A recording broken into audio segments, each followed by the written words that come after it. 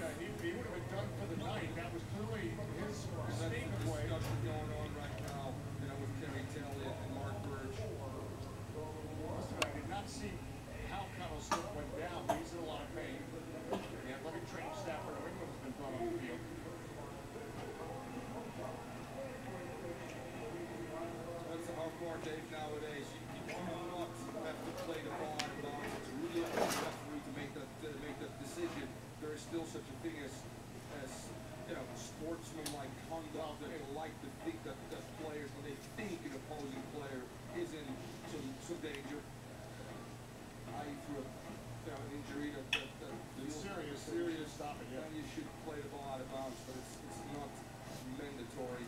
Well, again, the, the difficult thing for DC United is at that point, they're, they're on the attack and going forward, and it basically stops one of their attacks. Well, let's see what happens with Connell Smith. As uh, Smith is up.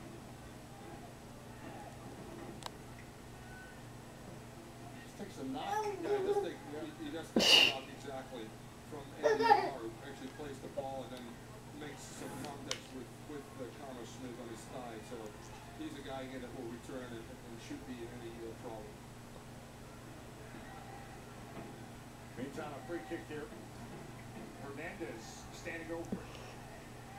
DC United Hey. Paxton. Hey.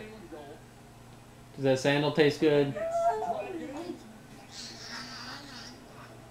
Reis just make sure there's no trouble there. Hernandez. Bernard's in- Yummy. Trying to have success here.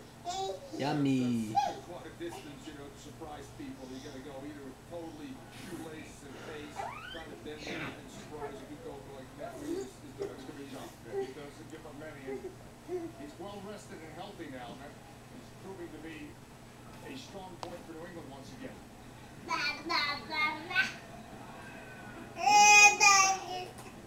On Devon McTavish on the back end. Now DC United. Claudius. Darrius Barnes is right there. He'll be quick against his own defense. He had guys who will get back. With the head. Yeah, in this game, David, we'll take you to a very special player, a special player, or in transition when, when New England starts sending numbers forward where you can catch him a trying to play through this team right now is proven to be uh, Hernandez the back here for Claudius. Clock six down. Boston. Oh. Hernandez, here comes Hernandez. Oh.